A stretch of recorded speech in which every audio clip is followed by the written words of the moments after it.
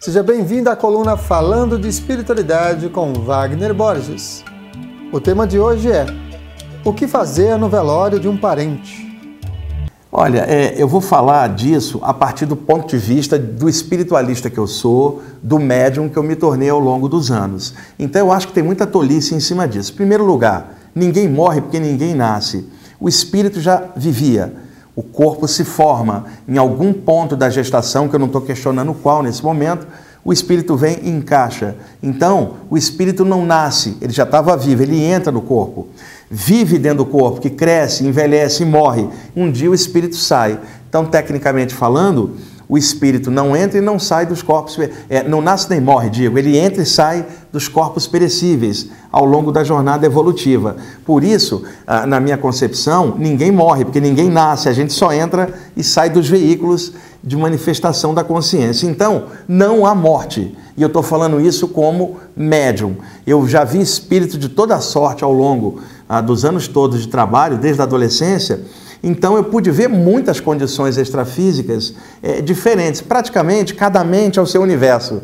Então, ao sair do corpo pela morte, cada mente vai plasmando em torno dela formas mentais daquilo que ela acreditava. Então, um dos trabalhos que os mentores espirituais têm é quebrar essas formas mentais para abrir a pessoa para o, o verdadeiro mundo extrafísico, a realidade a extrafísica. Então, as pessoas encarnadas, elas criam é, é, é, mundos mentais em torno daquilo que elas acreditam.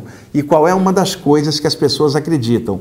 Que você nasce aqui no momento do nascimento e morre no momento da morte. Então, condicionadas a isso, seja culturalmente ou religiosamente, tanto faz, as pessoas elas criam uma escuridão mental em relação a isso, porque elas acham que aquilo é tudo e que perderam definitivamente o contato com a pessoa que partiu. Então, o velório, normalmente, na maioria dos casos, é uma massa de energia escura, que é a dor da perda das pessoas. E é claro, isso precisa ser respeitado, a pessoa acabou de perder alguém, mas se ela tiver um conteúdo espiritual, e eu não estou falando doutrinário, dessa ou daquela área, mas um conteúdo, uma consciência maior em cima dessas coisas, ela consegue lidar com aquilo normalmente. Só que vai ter um problema que eu já passei várias vezes. Se você estiver equilibrado num velório de um, de um ente querido, ou melhor, do cadáver de um ente querido, que o ente querido não está ali. Se você estiver ali, você estiver calmo e tranquilo, você será criticado pelos familiares que estão desequilibrados, vão acusar a você de ser frio,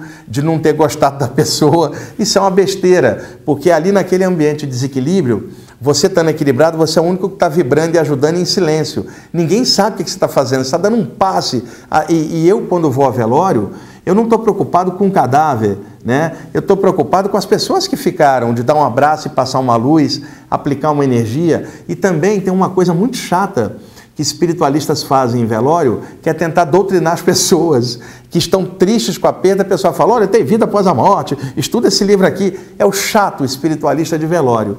Eu sempre acho, vai lá, dá um abraço em silêncio, respeita a religião da pessoa, seja lá qual for, ajuda no que você puder, quietinho, vibra uma energia, faz uma prece, sei lá, faz o que você quiser, mas não enche o saco de ninguém. Agora, se prepara, se você estiver bem, estiver tranquilo, vai incomodar muita gente. Quantas vezes também eu vi entidades desencarnadas é, em torno das pessoas tristes. E não era a pessoa que tinha desencarnado, eram entidades obsessoras que se aproveitavam do ambiente escuro da dor da perda para vampirizar os parentes encarnados que estavam tristes. E aí, silenciosamente, eu ia, dava um abraço em um, tirava uma entidade.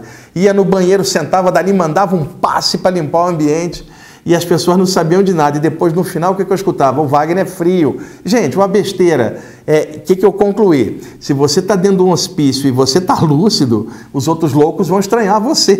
Os loucos vão se reunir e falar assim: aquele ali é estranho. Então, se você estiver bem, equilibrado, consciente, do que você sabe, você não tem como se exasperar ou ficar mal com a perda de alguém, que não é perda nenhuma, é somente uma mudança de endereço para outro plano. Agora, você vai sentir falta da pessoa, da vivência aqui. Só que, de repente, saindo do corpo, você encontra a pessoa viva e, eventualmente, nós também partiremos e nos encontraremos lá. Mas é legal tratar disso de uma forma natural, lúcida, sem aquele peso todo e respeitando as perdas das pessoas. Mas as coisas têm que ser clareadas. E, para finalizar isso, eu vi também psicólogos dizendo que as pessoas têm que tirar um período de luto, né?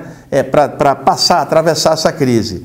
Isso é normal, até desejável. Até algumas pessoas precisam fazer até terapia para lidar com a perda. Mas falar isso para um médium ou para um espiritualista que sabe que ninguém morreu, tá de sacanagem. Que período de luto, caramba, ninguém morreu? Como é que você vai ficar de período de luto? Né? Então, isso se refere à falta de conteúdo de consciência. Porque quando se tem esse conteúdo, não existe nem, nem nenhum período de luto porque ninguém morreu. A pessoa só caiu fora. E agora você tem que se readaptar à vivência sem estar com a pessoa junto no plano físico. E aí sim, você precisa de uma abordagem melhor em cima disso. Mas a questão do luto é, é depende do ângulo que você está olhando. Para alguém que mexe com a parte espiritual, não tem essa história de luto, não tem essa história de morte. O espírito não nasce nem morre, só entra e sai dos corpos perecíveis. Gente, até o próximo programa.